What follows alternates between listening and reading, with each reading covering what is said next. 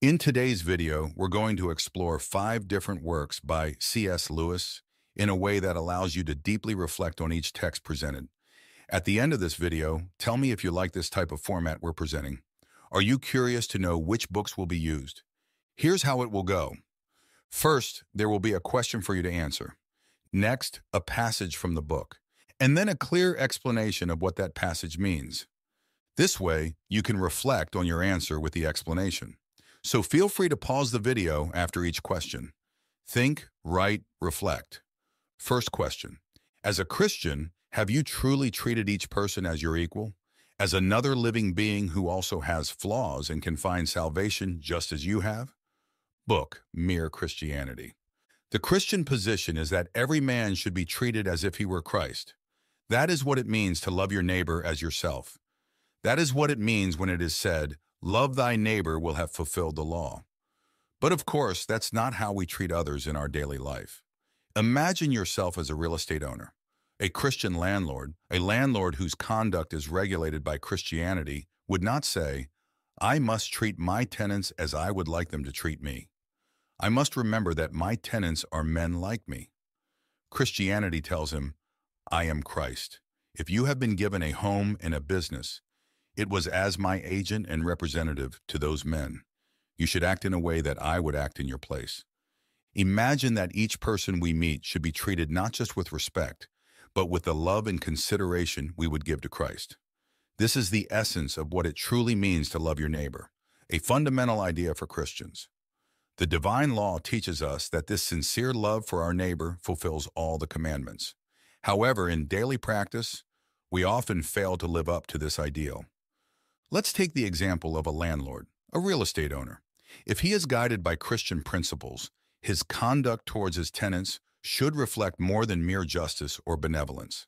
He must see his position not just as a business opportunity, but as a mission given by God. Instead of treating his tenants merely as a source of income, he should treat them as if he were serving Christ himself. This means offering more than a fair contract. It involves compassion, understanding, and a genuine desire to improve their lives. Conclusion, being a Christian in any part of life, each interaction, each decision should be seen as an opportunity to represent Christ on earth. Jesus came not only to save us, but to serve as an example to be followed. And from this, we draw our faith in God. For if we start to act more like Him, we will have our place reserved by His side. Second question, with everything you've learned so far in your life, are you afraid of what the future holds? Book, Letters to Malcolm, chiefly on prayer. Imagine yourself a living book, a manuscript still being worked on. Consider how difficult it would be to read a page of your own life book and fully understand what is written on it. Even more challenging would be to read it before the other pages are written. Reading such a manuscript wouldn't be like reading a book that's already finished. Things wouldn't come in a logical, neatly arranged order, but would be chaotic, sometimes contradictory. Yet this chaos is what we call real life. From this passage, we can understand life as a book in constant writing, where each page contains experiences, thoughts, and emotions that have not yet reached their conclusion. Each lived moment is recorded, without the benefit of revision or the perspective that time or additional context might offer. It's a view that highlights both the beauty and the complexity of living without a definitive script. The idea of reading a page of our life without knowing the following ones evokes the reality that each decision, each event, is not final or complete in itself, but part of a larger process, often incomprehensible at the moment it occurs.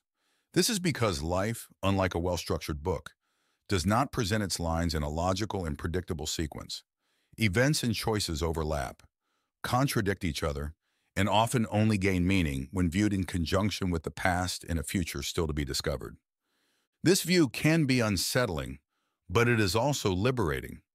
Understanding life as an open text allows us to accept uncertainty and chaos as natural parts of the human experience. The lack of logical order and the presence of contradictions are not flaws to be corrected, but aspects of any personal narrative that is still being formed.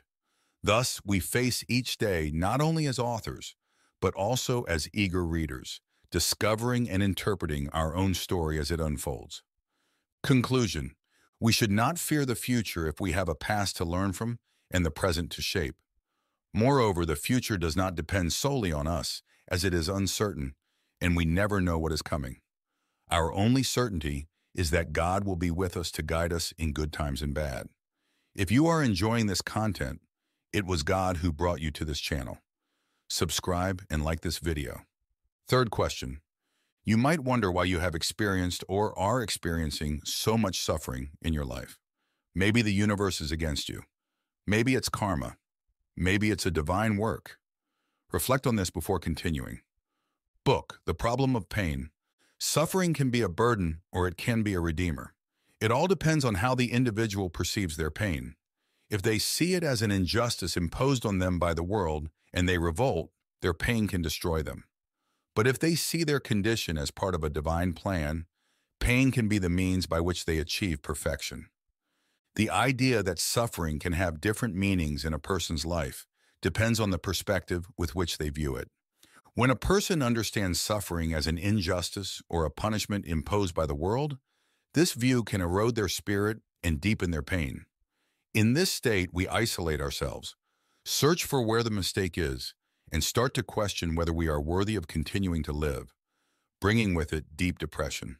This is a path in which suffering not only remains as a burden, but also has the potential to destroy the person, both emotionally and spiritually.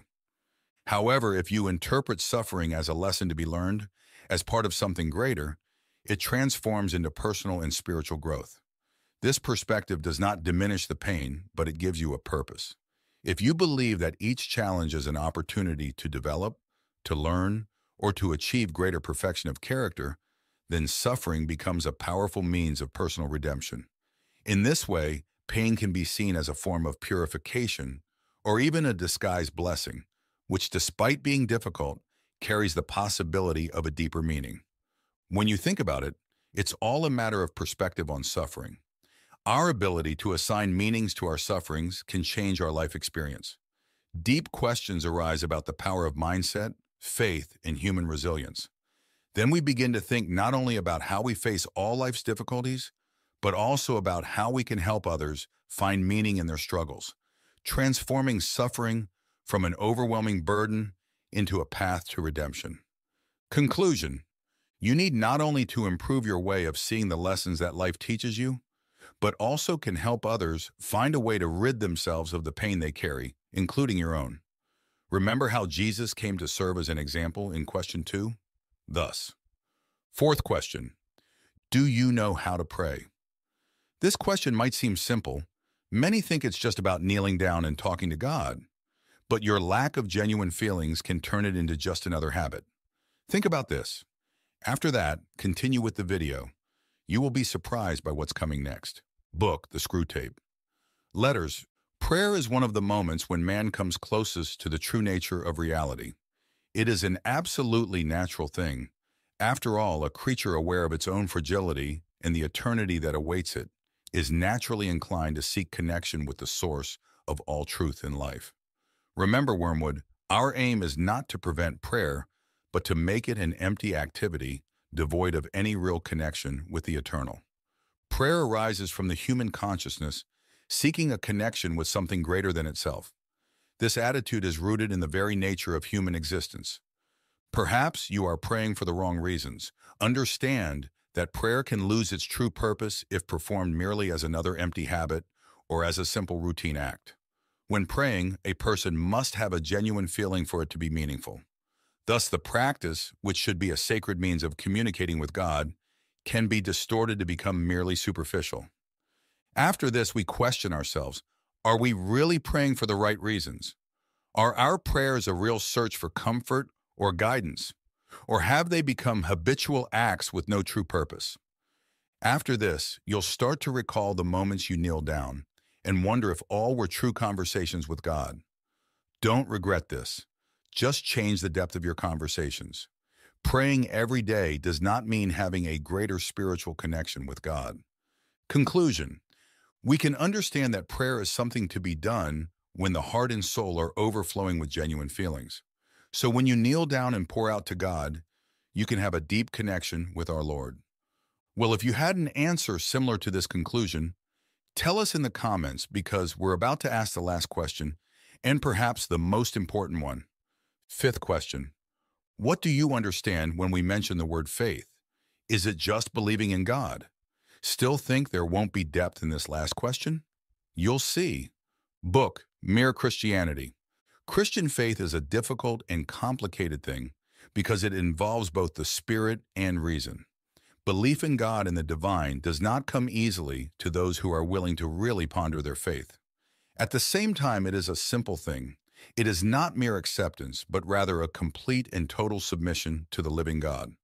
True faith requires that we submit and accept divine precepts, not just because they are the way to eternal life, but because they are good.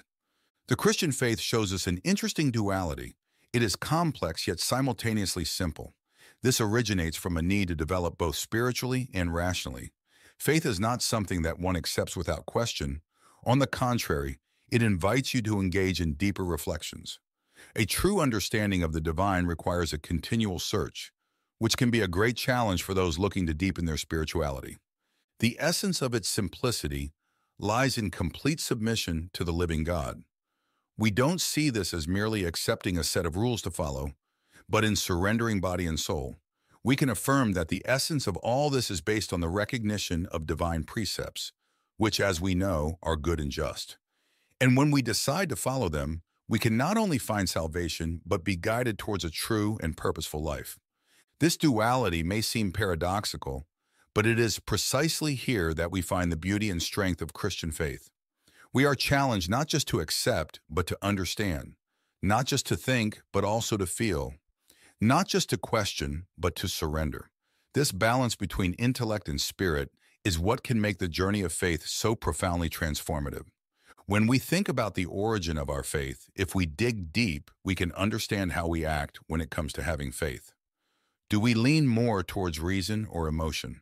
Are we open to questioning ourselves deeply, or are we satisfied with a superficial understanding?